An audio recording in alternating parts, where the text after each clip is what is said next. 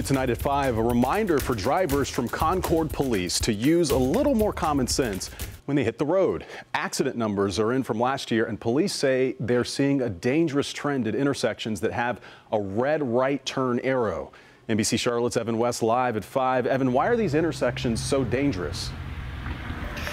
Well, Fred, Concord police say people simply don't know the law. If you come to an intersection with a red arrow facing in the right direction, then you are not allowed to turn. You have to wait until that arrow turns green. Now, it sounds like a simple law that you might know, but as we found out today, a lot of people don't.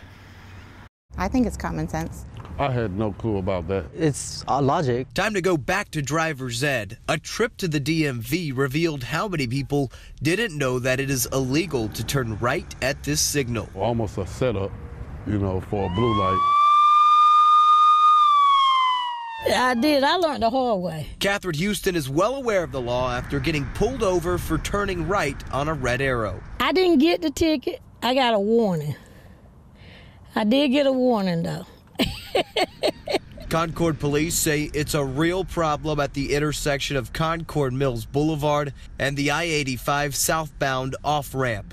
Even with these new no turn on red signs, this red car blew right through the light. A lot of people really ain't paying attention nowadays. In 2017, 118 accidents were reported at this intersection.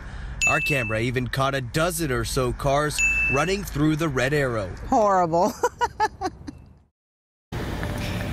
Most people don't think twice before turning right. Hopefully you look twice, but next time you come to an intersection, you want to be sure that there's not a red arrow pointing in the right direction because if you do turn and you're caught by police, it's going to cost you a $25 fine. Reporting live in Cabarrus County, I'm Evan West for NBC Charlotte. All right, like running a red light.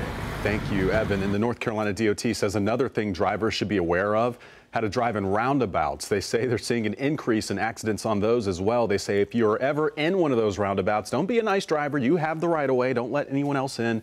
Just keep going and exit when you need to.